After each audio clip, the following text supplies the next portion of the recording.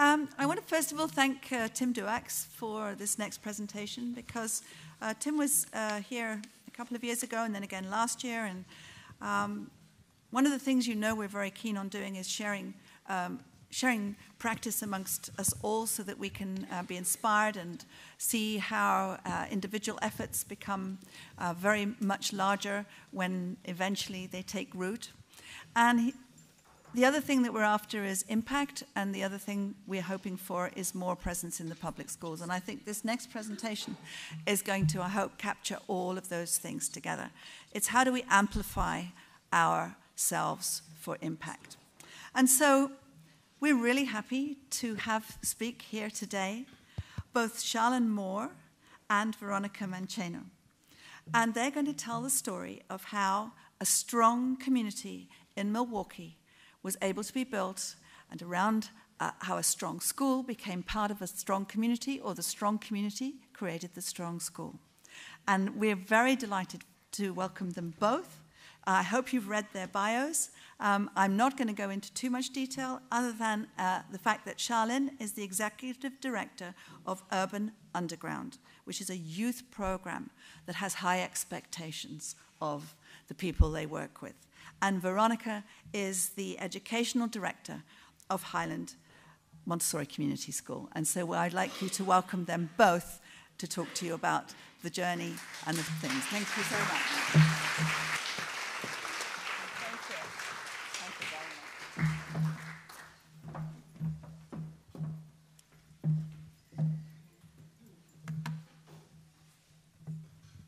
Good morning. Is it still morning? Ah. uh, we have like a what, eight hour time zone difference. So I have to say, we've been very acclimated uh, to Amsterdam. Um, uh, individually, you know, one of us have gotten left on the train and the other has got run over by a bike. So we're, we're, we're now official. We're now official. Good morning again. My name is Sharlen Moore, uh, and I am currently, um, I have three children at Highland Community School. Uh, they each started in the toddler program. Uh, so they've been going to Highland ever since uh, they were uh, 18, 19 months old. Uh, so I've been part of uh, the, the, Highland Community School family for many, many years now. and it's been such a beautiful um, opportunity and a beautiful experience being in a Montessori school. Um, thank you all so much for the opportunity of coming here today uh, and sharing our experiences. We are so honored uh, to be a part of um, this conference. And my name is Veronica. I'm also a parent at Highland Community School. My oldest son graduated from Highland from eighth grade two years ago, and my youngest son is in eighth grade currently. They, we came into Highland a little later. They were in first and third grade, um, and I became a parent first, as the story goes very often at Highland, and then um, a teacher, and now an educational leader. Awesome. So we want to share with you all today just how um, the lessons that we've learned over the years and how um, Highland have become a, a force for change in Milwaukee. All right, so we're gonna start with just some geography. okay, so um, we come from Milwaukee, which is a city in the middle of the United States.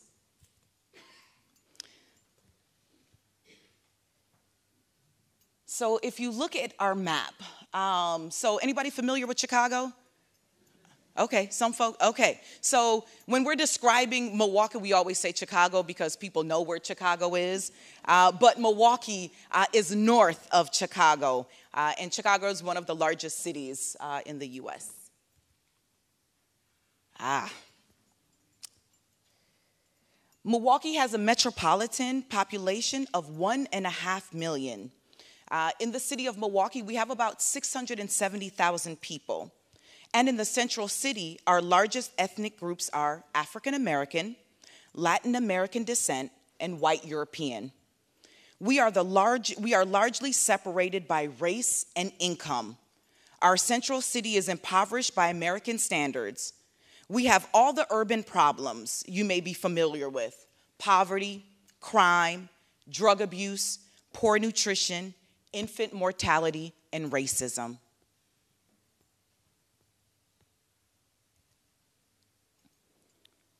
With all of this, there's about 170 schools within the city of Milwaukee, and Highland sits right in the center of that. This is our current building, located about 300 yards from our very first building. Highland was founded 50 years ago with a commitment to its local community and to the Montessori philosophy. Highland has continued to grow by providing Montessori's nurturing, socially responsible brand of education. We have gone from our original single casa class of three and four year olds back in 1968 to a fully implemented Montessori program, toddler through adolescence. Thank you. And this just provides the um, background of the students, the ethnic backgrounds of the students that are at Highland. Highland Community School was born from the, from the effects of a small group of parents who wanted a new approach to education in the central west side of Milwaukee.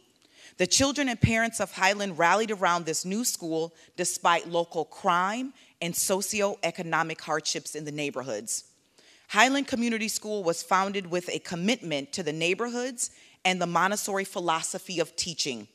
The school started as a Sunday school in a basement of a church in December of 1968 at the Victor Schlitz Mansion on 20th Street and Highland Avenue. So that very first building where we're currently located, this for um or where we are now, this is the building that's located probably about three blocks from Highland. These are just a few, the next few images are just some renditions of how it was captured of the spaces that we were in. Highland continued to grow as the community brought, bought into Montessori's nurturing and socially responsible brand of education. Rallying on parents, um, relying on parents became an integral component of the daily operation of Highland and helped to set the standard for today's parent involvement requirement. In 1996, Highland became the first charter school in Milwaukee. Soon afterward, it moved to a historic Pabst mansion just 10 blocks away from its original site. While this wonderful spot at 30th and Highland successfully allowed us to continue our mission of developing community education, we began to outgrow that space too. Our search for a new home along Highland Avenue was successful in the spring of 2012. With the acquisition of the building at 17th and Highland Avenue, we made this building our Montessori home and are committed to our diverse community of learners and their families. With a current population of about 430 students, which includes our toddler program, the future of Highland Community School is sure to provide more exciting and inspiring stories for our extended family of lifelong learners. What makes us unique is our parents uh, is that our parents are the leaders and key decision makers of the school, and we are directly accountable for their vision. Parent involvement, involvement is the essential and key ingredient that make Highland like nowhere else. Um, we're going to show just a really brief video on um, just our parents talking about Highland in its current day.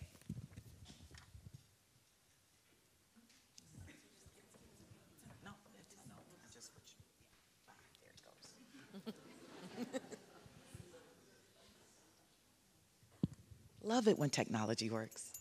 Okay, maybe not. This is a very unique and special place.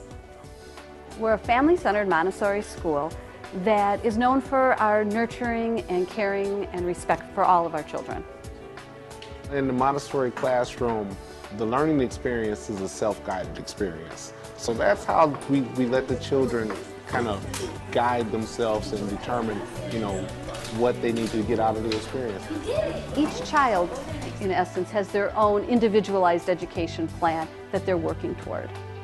50% of the uh, teachers here are also parents at this school. It sounds so cheesy, parent-run school, and a lot of people don't know what that means, but that's exactly what it is. Kids are explorers. They like to look around. They like to see things that are different. They like to go within the environment. They like to pick up the materials and say, can you show me how to do this? I'd like to work with this material. They like to explore. This it's like landing on a planet they've never been on before within the classroom. The ideas that some schools are borrowing now from Montessori are just that we do need to be looking at the child more as an individual rather than as part of a larger group. We really look at each student as, as their own person and we attend to them that way. At one of our board meetings, when we were making the decision to grow Highland, we had a board member who said, let's make it as big as we can. Let's have three, four, five Highlands. Let's get all the kids in the city into Highland because we believe that it's that model for change. We believe that what we do here is so special and so effective and so enriching for kids that we want all the kids to have it. I can honestly say that there's never a day that goes by that when I wake up in the morning, I can't wait to get here because I love my job. I definitely feel like I'm changing the lives of these children and the good part for me is I get to see it at the beginning. I get to be that influence at the beginning stages of their lives. And you know, hopefully when we get that good start mother in my classroom, we'll make great children for the rest of the world.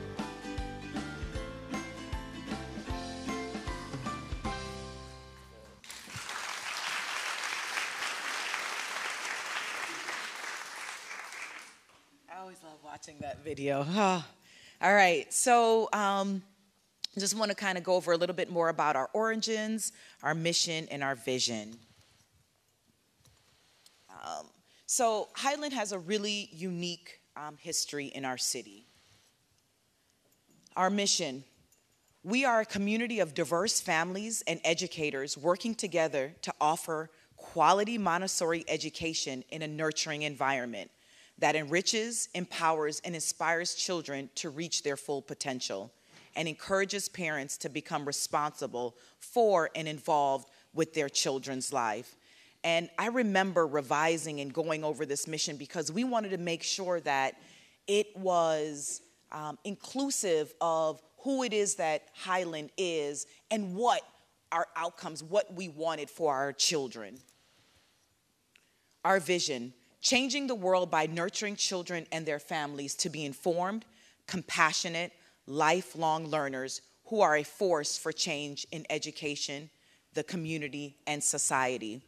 This picture was actually, the picture that accompanies this, uh, this slide um, was actually taken um, during uh, the national school walkout where students, where our students wanted to participate um, in supporting um, and advocating for gun reform. So this was a really special moment.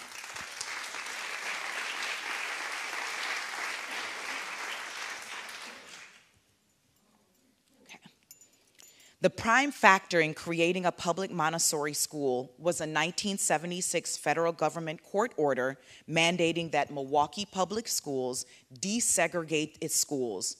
Montessori was one of several educational models selected. The first government run Montessori school, MacDowell, was established just three blocks from Highland Community School. Parents who enrolled their children into MacDowell recognized an excellent educational opportunity. Parent advocacy led the Milwaukee Board of School Directors to gradually open additional Montessori schools. As Highland has grown, so has the Montessori movement in the city. Currently, there are over 3,700 Montessori students in eight local government operated schools and another thousand in privately run schools.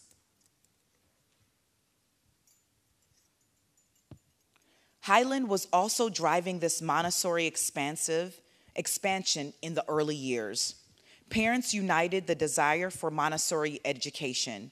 The school's three organizing themes of integration, parent power, and Montessori education gained recognition across the city. Before the school became a charter in 1995, tuition was scale based and parents paid what they could and subsidized what they couldn't in parent hours. In 1996, the school became the first independent charter school in Wisconsin funded by Milwaukee Public Schools. Control of the school has been retained by its parent board. And again, that's a huge difference in the city that Highland has, um, that I know of, the only parent, parent, fully parent run board school in the city.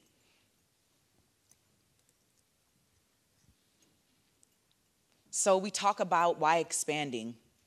Research showed solid, solid results in academic achievement for African American children living in poverty. This paved the way for other educational models. Some examples include language immersion, environmental education, and gifted and talented programs. Um, and for those of you that have never been to the city of Milwaukee, Milwaukee is very segregated. So um, individuals that of our Latin American descent live on one side of the city, they live on the south side. Um, African American live on the north side. It's very, very segregated. So it's important that we were developing models um, that was inclusive of um, um poor uh, and students of color. So, what I would like to talk about now is what are some of the obstacles that we face as a um, public um, government run school. And I'm just going to stand to the side because, you know, um, you may not see me if I'm behind the computer. That's the only reason why. Um, and I want to focus on just two. Um, there are many, many things that we can think of obstacles, but I really just want to focus on two. Um, the first obstacle we face at Highland is, of course, the state mandated testing, the standardized state mandated testing. I um, listed three um, of the tests that we have to take. Um, and I would love, um, when we say academic subjects, forward is once a year, is the state wide testing. For each academic subject, there is more than one session. So language has three sessions. The first session of language is 45 minutes. The second is 30 minutes. The third is 30 minutes. Um, and you know, so we couldn't just count it per hours that a child is taken out of the classroom for a test. In a Montessori classroom, that disrupts the whole environment. So we're taking a group of children out for a test, then the other child that may have been left behind can do their group work because their, the classmate left, right? So we actually count them in morning work periods. A rough estimate of morning work periods that are pretty much done for the day. We can't do any work in that morning work period. Is eight morning work periods for forward testing, which is once a year, and nine morning work periods for start testing, which is the district benchmark that we have to do three times per year. Uh, that's a total of 17 morning work periods. And if you are a Montessori teacher, you know what happens to your afternoon work period after the morning work period got completely destroyed. Uh, so that's 17, pretty much 17 school days that we spend testing. Our second largest obstacle is then the state mandated um, way of intervention of students. So the state will look at the standardized scores, and they ask us to look at this and say from your 25th to the 35th percentile, there's going to be your second tier of students. That means that you are going to, um, according to the state, you are going to give them interventions on basic academic skills two times per week for 30 minutes each time. From below 25th percentile, you're going to give your children intensive basic academic skills three times per week for 30 minutes each time, and you're going to test them every other week. So, if you think of the effects of poverty on a child, or trauma, or um, violent neighborhoods, um, you're probably not worrying about reading and writing and doing math calculations, which means you probably have really low basic academic skills. So now you're going to be seated in front of a computer more often than your peers. That is a huge obstacle. But at Highland, we truly believe that obstacles are also the source of opportunity. What do we do? We ask our parents, what do our parents want for their child's education? Yes, they want their children to know how to read, to write, to do basic math. But our parents overwhelmingly also wanted critical thinkers. They wanted their children to have confidence. They wanted their children to be able to get along with anyone. They wanted their children to love learning. Okay, so what do we do now? The state wants us to do this, our parents want us to do this. You get the minds at work.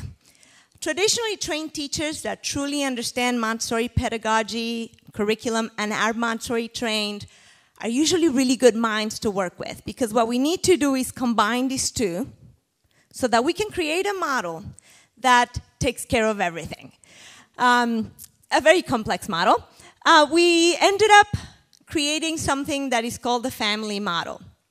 And it really took care of a lot of things, one of them being intervention. So, in our family model, which is very unique, we are trying to include the adult into the learning environment, not put the pull the child out of the learning environment.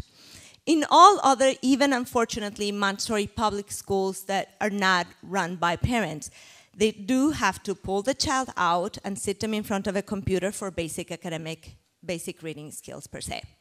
At Highland Community School, we have an adult that focuses completely on these basic skills, but this adult comes into the learning environment, stays in that learning environment. They sit at the table. Often, they, if there's, they have their child, you know, child X, and they need to work on these skills and they're looking they observe oh I, can, I can do those skills with that lesson they're doing. So they go by the child they will sit on the floor or at the table and work that intervention right there when it's needed. It requires first to have full-time adults that are trained that can do this. Um, they're not montessori trained but they are trained in observation and they come in and are willing to truly respect the child and their child's work. Is an immense amount of flexibility because there is 410 children. And you have to get to all of the all of the bottom 25th percentile in one week two times or three times for 20 30 minutes each time. This family model um, also includes social emotional. So we don't only do we have to do reading and math but we also feel that it's extremely important for us that we look at the social component, at the emotions. So we started actually using maths this year, and we have a full time adult who does this, who looks at the children that there, it could be their family, it could be trauma, it could be many, many things. We, we can't diagnose that, but we know that in the classroom they struggle. Instead of like, you're not behaving, you're going to the principal's office, we have a community resource room the adult can go in, say, hey, you ready for a break? You ready to come meet me? Or there has been a scheduled meeting with this adult already who we are blessed to have a Montessori trained teacher do this. And they can lead the, the child or a small group of children to a community resource center where they will do mindfulness, where they will do um, games that work on memory or self regulation. Um, and then we can transition back into the classroom. Um, so that is also very unique to Highland. Um, all these unique things makes Highland a force amplifier of Montessori. Um, and these are just some of the things that amplifies Montessori to the city. First of all, our parents inside the school. Um, as you saw in the video, more than half our parents are staff members. Sharlen is a parent. I am a parent. We parent and teach each other's children. Um, then how we collaborate with community organizations, how we grow our schools, how we enrich our environments, and back again to our parents, how our parents advocate outside of the school onto the community.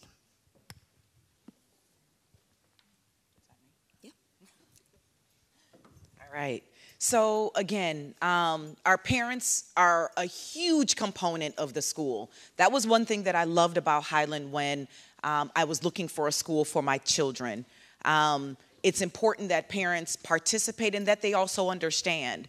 Uh, so there's absolutely um, daily contact um, with the classroom staff. Uh, parents are always welcome. There is no, well, do I need to set up or schedule an appointment with you, you know, to, um, to sit in the classroom? Parents are always welcomed and a part of Highland Community School.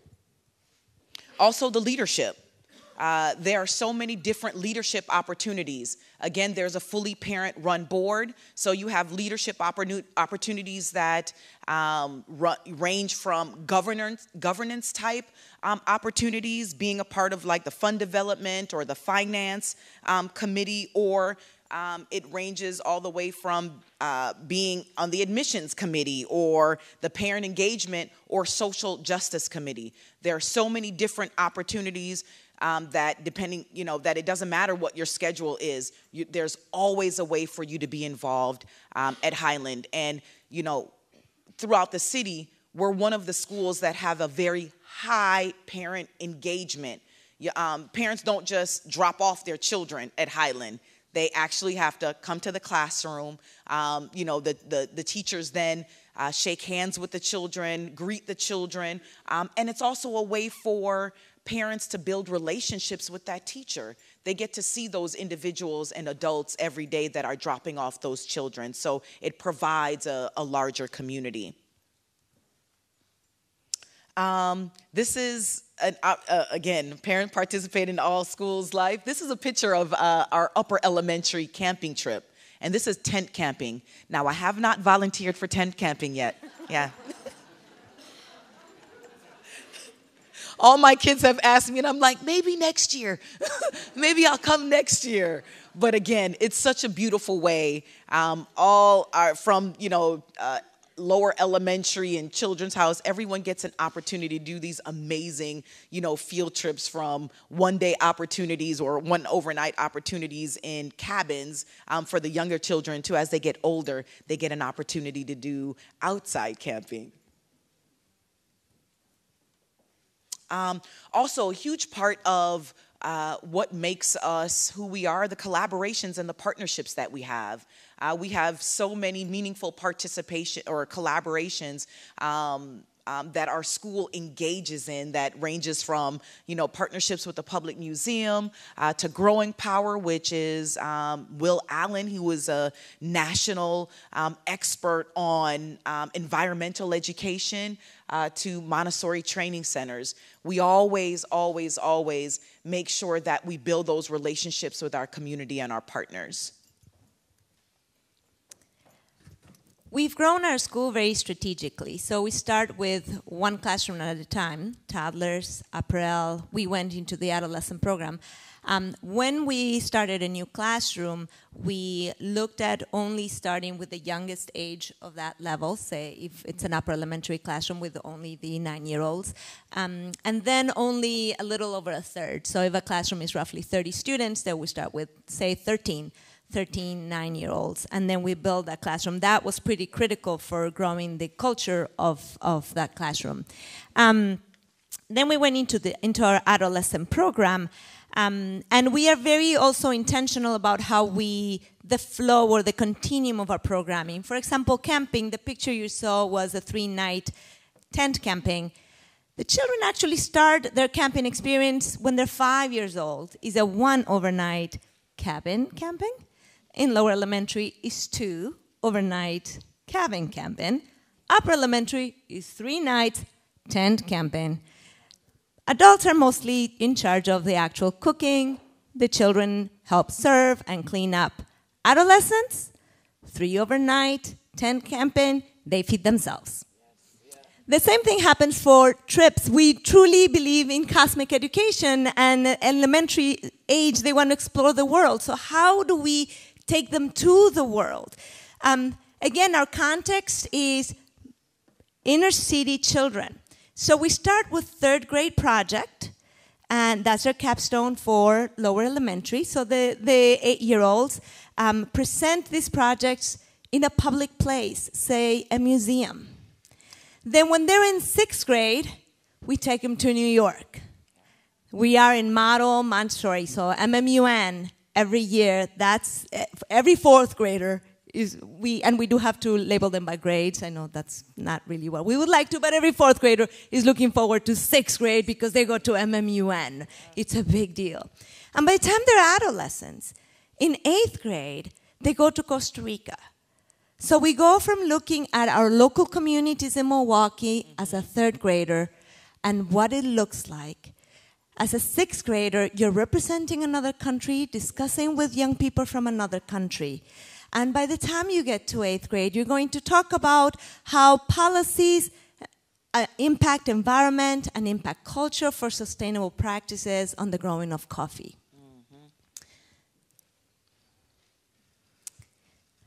Um, these are some of the, the, the, pictures on how we would enrich our school. This is actually the outside. The first picture you saw of Highland, it doesn't look like that anymore.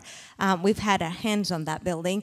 Um, but we spend a lot of time beautifying and taking care of the grounds. So the groundwork that we do, we have two hoop houses, and I'm gonna have to, um, I'm gonna back up on that one, sorry. I'll have to read all these. I don't know these off the top of my head. We have three bioswales that take care of 365 square meters of rainwater. We've planted, parents have planted, parents and students have planted 22,438 square meters of native prairie right in the center of Milwaukee. We have two hoop houses that have been built by students. Um, we have a solar cart that was designed and built by students. Um, Highland Community School, because of our parent advocacy, is a founding school of the Green Schools Consortium of Milwaukee. And last year, Highland Community School won the city's Better Building Challenge for occupant engagement. And this was all our parent involvement and our parent advocacy. Yeah, How do we enrich our inside environments? And as you can see, none of those pictures are of the classroom. So another obstacle could be like, what do you do with art? What do you do with language? What do you do? You know, those are, these are all pullouts. We actually have full-time expertise in their subject, in their area. So we have an artist, and she's our visual artist um, person, and she has a studio. And she comes into the classrooms, or the children schedule studio time especially for those large projects. We have a performing arts teacher, and he has a black box um, room, a theater. He also happens to be a Montessori trained teacher. And we have a geologist who knows everything you want to know about rocks. Um, he built with the students a cabin. He built a cabin, and in the winter, they go out to the cabin and they light a fire and they hear and listen and talk to about stories.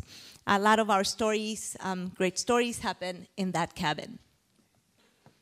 Um, and our, um, our sixth graders also become docents of the museum. So that's how we are enriching our classroom environment, by taking our children to explore the world.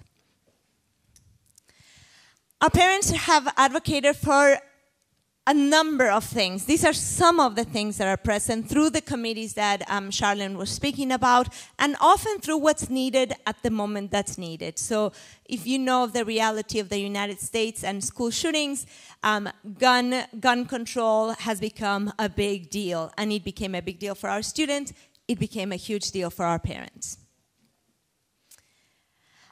So I've tried, we've tried to represent a lot of what our parents have done, but we would like you to see a, um, a little over four minute video on one of our parents. Uh, the video was completely edited by our adolescent students.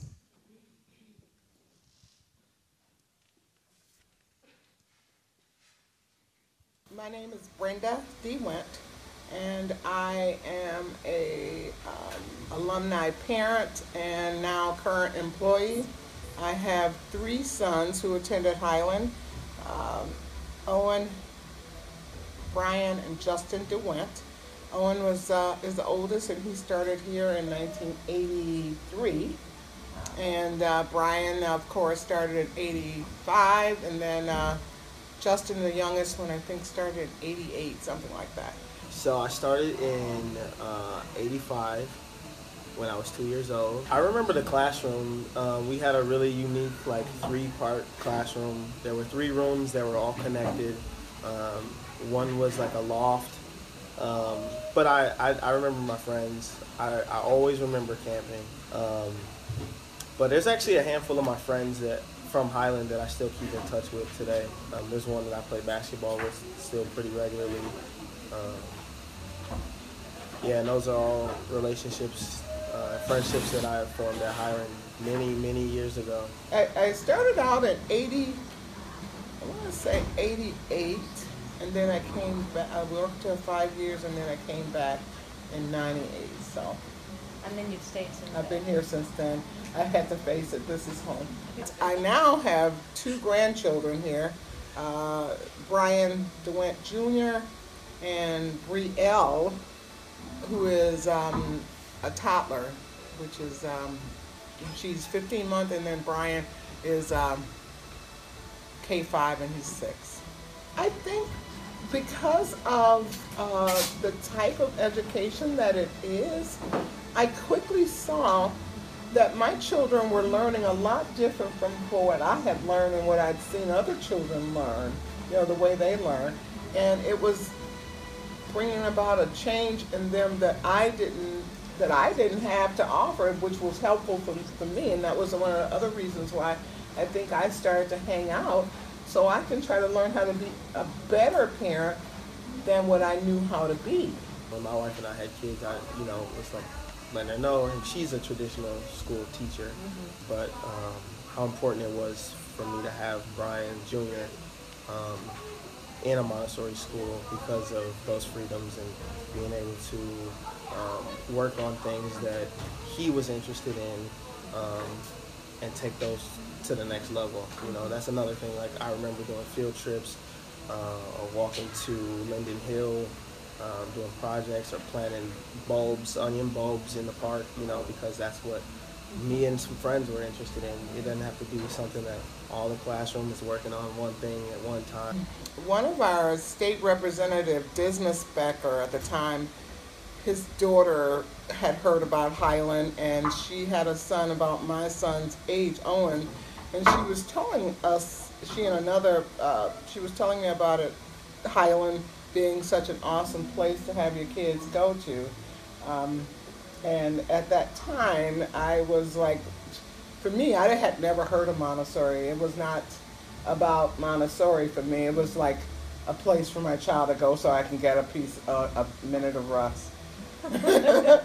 uh, which I tell that story because it's the truth, but in the end, found out that it was the perfect place for me as well think about that all the time. Um, the fact that what it's done, and uh, actually Nate Kirksick was a friend of mine, and he sent me a text. Uh, this was years ago, but he talks about his experiences through his life and his. And if he ever has kids, he would hope that they could be. They don't live in Milwaukee anymore, but he's like, you know, if I can find something like Highland, something Montessori with that same community feel um, and Montessori um, background that he would definitely, like without a doubt, because he's like, you know, you might question these decisions you made in your life. He's like, I'll never question what Highland did for my family.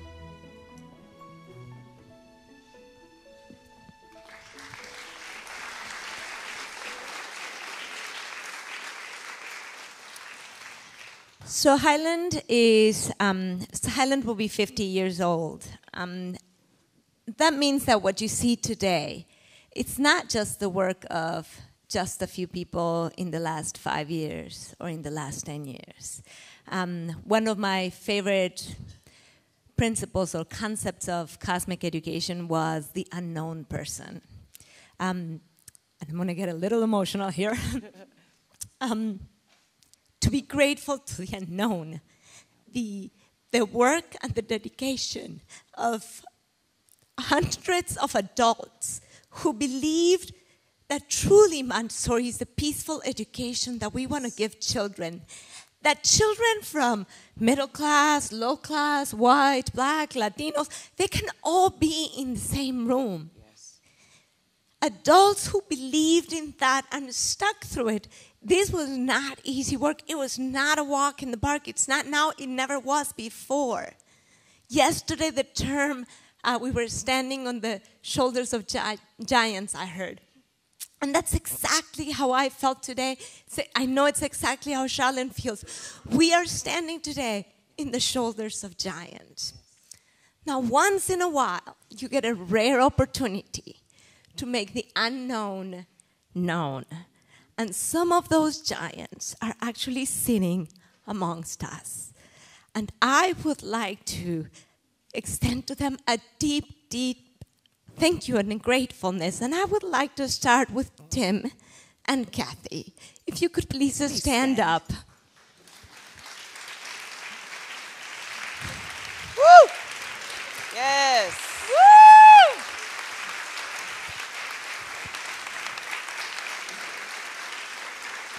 Tim was, um, if not the first, correct me if I'm wrong, one of the first Vista volunteers to Highland since 1968. And Tim, from the conversation I heard the other day uh, over dinner, dragged a bunch of people into Montessori world. Uh, that's all I heard. If it wasn't for Tim, I wouldn't be in Montessori. Um, Kathy was my son's teacher was Sharlen's son's teacher. Um, so there is not only a personal connection, which is what is so unique to Highland, but a, a, a gratefulness for all the work that you've done.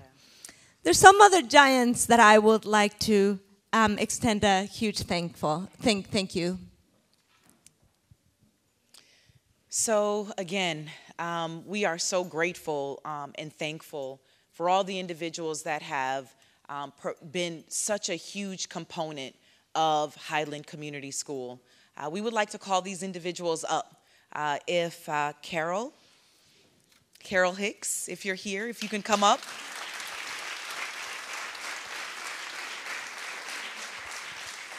Carol was a former Montessori teacher and trainer.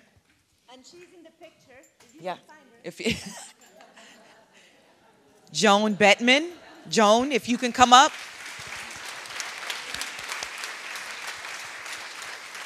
Joan was also a former Montessori teacher and trainer. And Alan Travis. Alan, if you can come up.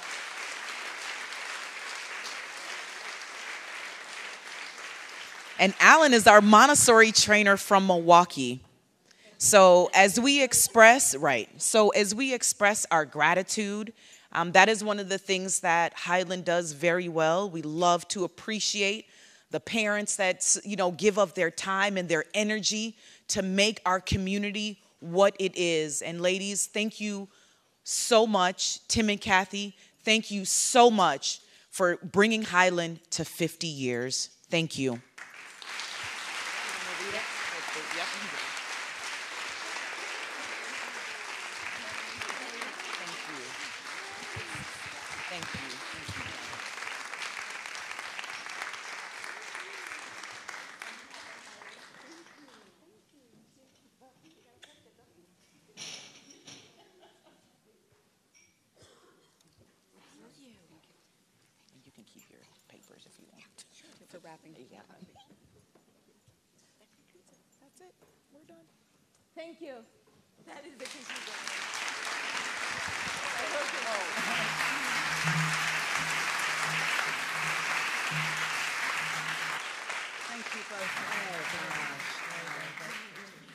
I feel that we're really, in, are you inspired by this story? It's a model that is incredible. Thank you very much. It's a model that's absolutely incredible. The energy that came from the two of you just brings the passion of what you experience every day to us. And I would like to recommend that we take this passion, we bottle it just a little bit, and we also take the lessons that we've learned today from this particular extraordinary example of how to root something so deeply in your community that it belongs not to any one person, but it belongs to the history it belongs to the future of a community that will never let it die.